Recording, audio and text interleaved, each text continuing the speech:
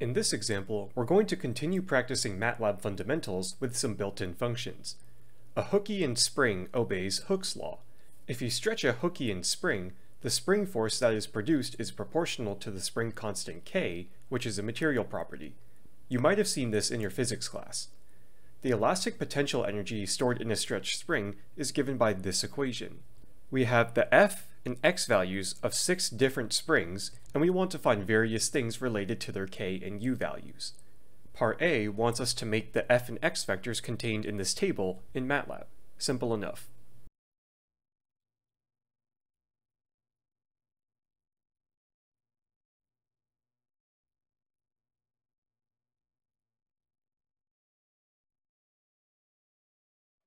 I divided each element in the x vector by 100 just so I don't have to type in the decimals in every entry. It's part lazy, part efficient. In part B, we need to compute each spring's k and u. To find each k, we need to divide f by x. Because our data is stored in vectors, we need to use the dot operator to signify element-wise division.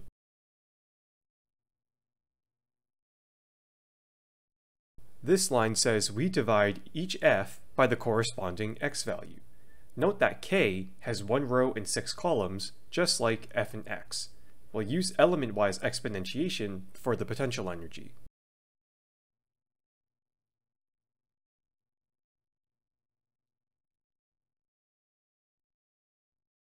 First, we have the x dot squared to square corresponding elements within the x vector. Then, we have to dot multiply with the k vector because we are multiplying each element of the k vector with the corresponding entry in the x dot squared vector. If you omit either dot, you'll end up with an error because you'll be telling MATLAB to multiply or exponentiate matrices with incompatible inner dimensions. We do not need a dot divide because this too is just a scalar. You can include the dot divide if you want, but you'll get the same output. I'm deliberately not adding the dot divide to specify which operations do and do not need the dot operator. It's always good to check yourself after every step, no matter the simplicity of your code. If you use a hand calculator, you can quickly confirm that each element in the k vector is in fact the f value divided by the corresponding x value. We can also quickly check that each u value is correct. Pause the video if you want to check every element. I highly recommend doing this frequently, especially as we begin writing more complex codes. Although it can be pretty slow, it certainly pays off once you find an error and is much less stressful than racking your brain trying to debug a 100-line code.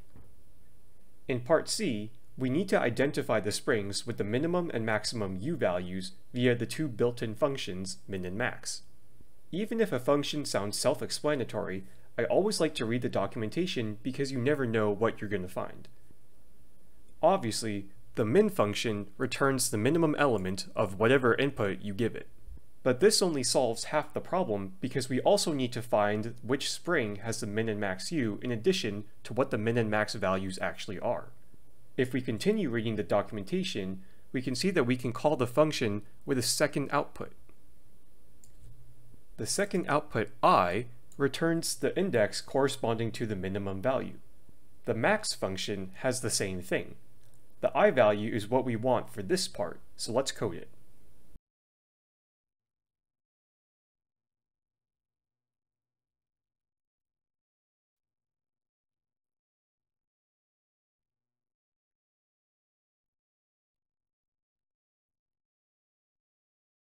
The documentation labels the first output m and the second output as i, but I decided to rename them just to be more descriptive. You're allowed to do this because these are just variables, so they can be named whatever you want as long as they adhere to the variable naming rules. Finally, part D wants us to print the results from part C to the command window via fprintf.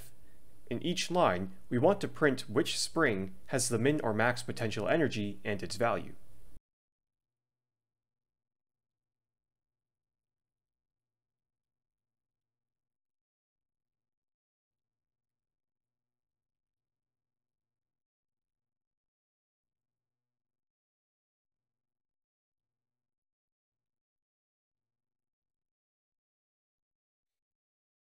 Here I have the percent %d, which is fprintf's delimiter for printing a whole number. Then I have the percent %.2f, which tells MATLAB to print the potential energy to two decimals. After we close the character vector, we have the umin location and the umin variables in this order because it matches the order in which we set the conversion characters within the string. If we flip umin location and umin, the code will still run, but we'll get the wrong output. Finally, I have the backslash ends to make a new line. This is just for formatting purposes. When we run the code, we can see that we've obtained what appears to be the correct output in the command window we can double click on the U variable in the workspace. Upon manual inspection, we can see that the fourth spring does in fact have the lowest potential energy at 1.82 joules, and the second spring has the highest potential energy at about 3.83 joules. Solving the problem with the min and max functions affords us flexible code. If the f or x vectors change, the code will automatically update itself and still print the correct results. But if we hard-coded things like the number 4 or any of the u values, the fprintf statements will stay static and may not reflect changes to any of the other variables.